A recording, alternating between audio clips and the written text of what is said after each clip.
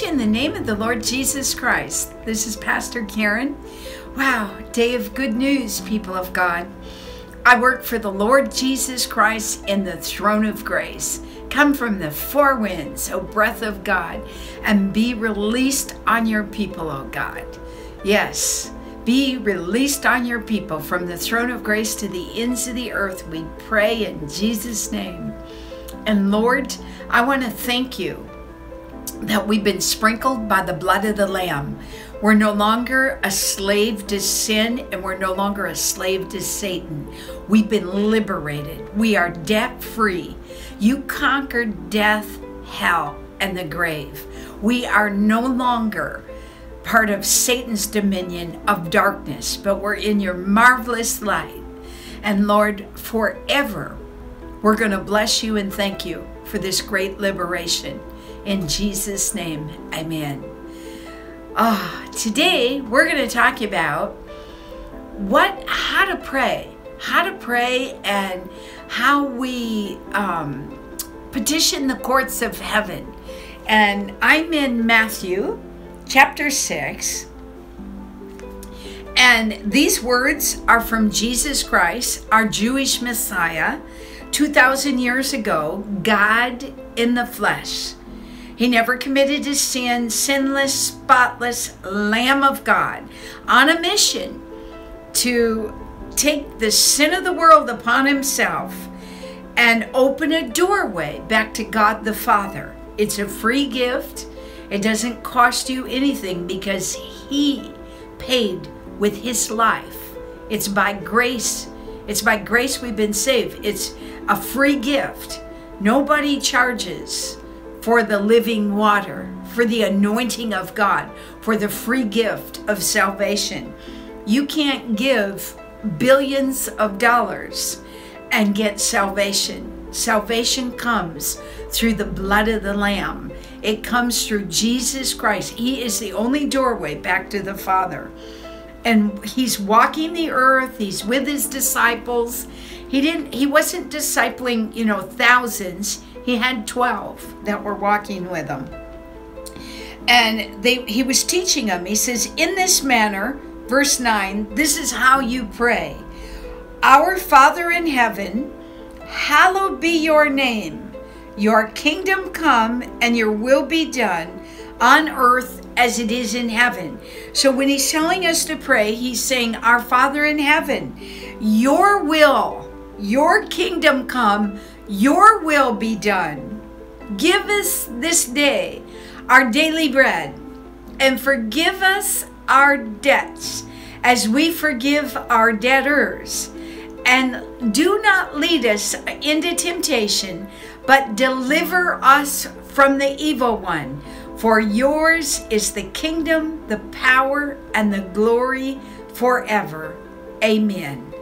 And it says, For if you forgive men their trespasses, your heavenly Father will also forgive you. But if you do not forgive men their trespasses, neither will your Father forgive your trespasses.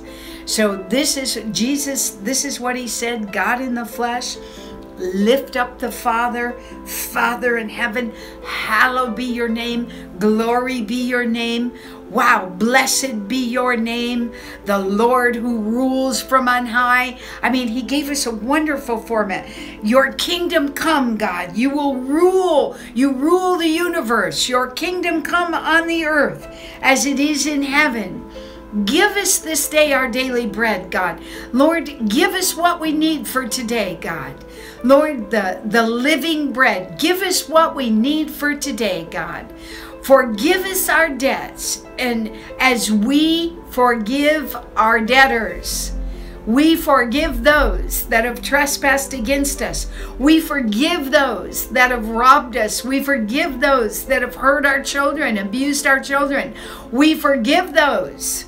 We forgive those that come against us. And it says, as forgive us as we forgive them. And then he says, Pray not to be led into temptation. Lord, Keep us away from temptation. Gird us up with the power of your Holy Spirit, God. Lord, those things that used to tempt us, let them let those things be as nothing. Flatline. You know, no more overindulgent. No more five chocolate candy bars. No more overindulgent. Flatline, God.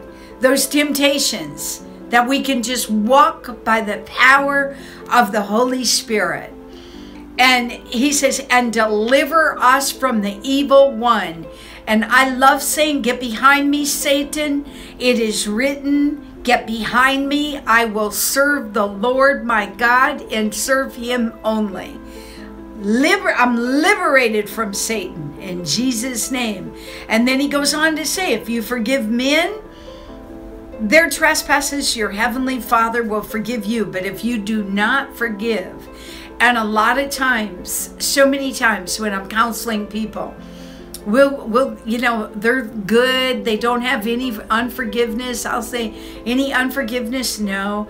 And then we'll start talking to them. Maybe when they were a child, their father beat them, or their mother hated them, or, you know, some uncle abused them. Whatever it is, we have to release unconditional forgiveness.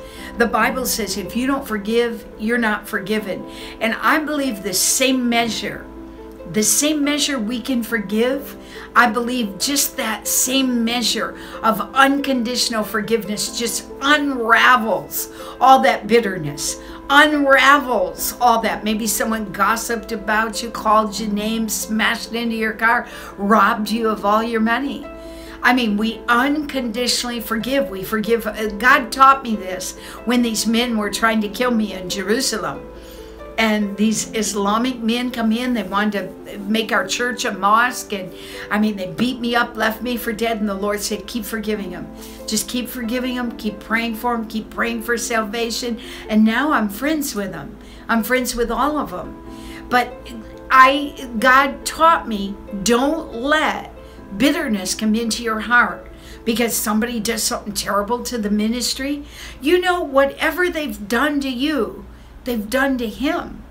Whatever they've done to you, they've done to him. The war and the battle really is Satan against what's inside of you. That's where the battle is. You know, you've asked Jesus Christ to come into your heart to be your Lord you know, and Satan wants to do everything he can to get you to walk away from that covenant that you're in with the Lord. And and we we can't be shaken free. I mean, we can't be shaken out of God because he's with us always. We're planted in God you know, He's not going to uproot us. He's not going to steal us away. When the storms come, we're going to we're going to be in that strong tower and God's going to carry us all the way through to the finish line. I believe that. I have faith that the God I serve, the God that called me and rescued me out of darkness, can deliver me across the finish line into the endless life. And that's good news. So if you're out there and you're saying, God, I don't know how to pray. Use the Lord's Prayer as a prayer model. You know, our Father in heaven, lift up God. Okay? Then talk about his kingdom. Jesus said, when you go someplace, say, the kingdom of God is near. Your kingdom come and your will be done, God. And then go on and say, Lord, and then in verse 11, present your need. And then you go on to forgive those that have trespassed against you in the name of Jesus. God bless you from the throne of grace.